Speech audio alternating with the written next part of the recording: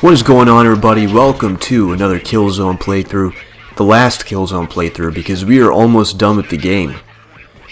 We are back in the human planet right now, Vekta. This is pretty much the end. There was a massive twist in the last video. You guys need to check it out. The last video was amazing. A really big plot twist. And now we are trying to get some revenge on a certain guy who said he was my father, but he wasn't. Oh, I'm gonna cry. But yeah, let's keep on going. Uh, let's keep going deeper. Not deeper. Let's keep going to our objective. You only have a certain time limit, so we gotta be really quick. Okay, let's move. Yeah, I like I like how Echo can like just be go invisible. She can like turn on her stealth powers. It is awesome. Makes it makes killing these guys really easy. And th these guys aren't that hard to kill. It's just when they group up on me, it, it gets hard to uh, defeat them. But yeah, let's keep moving.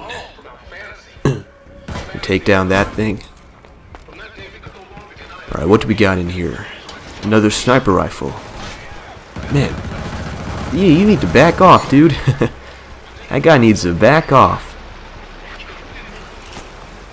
Okay. Let's go. Let me go invisible so nobody can see me. I don't want to get detected. I want to reach these objectives without getting detected. Headshot. Yeah. Man, it just kind of sucks that in the last mission they allow you to be invisible. I would have liked to be invisible in the previous missions. This is awesome. Just being able to go invisible. There's a lot of things in this game which are really cool, you know. I would just I would have liked to see the main story just be a little bit longer. Because um it was kind of it was like 9 chapters, which is it's good, but at the same time, it's kind of short, you know. So, let me kill this guy. And this person. Bye-bye. It's nice to know you. See ya. Dang, I only got a few, like a minute left. Gotta hurry it up. Gotta hurry up my pace. Man, they got they got the, the gun turret set up.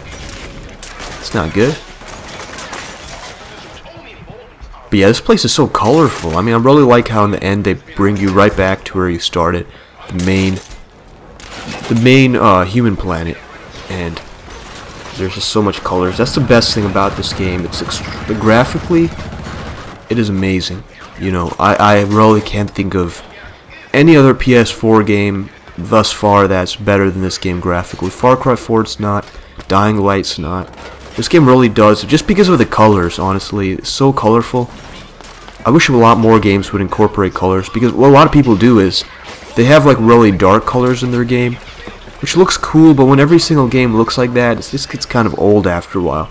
And the older Killzone games, they, they look like that too. They had dark colors, you know, grays, blacks, browns, but over time, like for this game, they really made it a point to make it like super colorful, like neon blue uh, you know, reds, like different colors, just uh, different colors of, of black, and it just looks amazing. There's so much detail, it looks incredible. Wow, we are getting close. We're going down to the wire, guys. Nine seconds. I better hurry my ass up over there, otherwise we are not going to make it. Four, three, holy crap. Adjust scope. Alright, that was close. We got here right on time. I'm going to get some revenge. I like how you open up the scope like methodically. Alright, here we go. Let's take the shot. This guy, this guy, Sinclair, he's supposed to be my dad. He was supposed to be my dad. And you betrayed me, man. You betrayed me. Now, I'm going to take the shot, R2, right in the head. Boom, for Kellan. Here comes the bullet. I guess uh, I wish this game would have ended differently, though. I guess violence is the is the answer in this game. That's how we solve things, I guess. Goodbye. Boom. And yeah, I think that was the ending. It was. That was a proper ending. They gave us a fake ending last time. It was a it was a good game. You know, it, it, wasn't the best game I've ever played, but Killzone Shadowfall was a pretty decent game. Let me give you guys a quick breakdown, like I do after I beat every game. Overall, I really enjoyed the graphics. I enjoyed the gameplay. The story, I, I thought it could have been a little bit longer. Um, some of the parts of the game, you know, were kind of annoying. The difficulty was kind of high, but overall a good game, worth picking up. I'd give it a 7 out of 10. So thanks a lot for watching, guys. I really enjoy it and making these playthroughs. I will see you guys next time.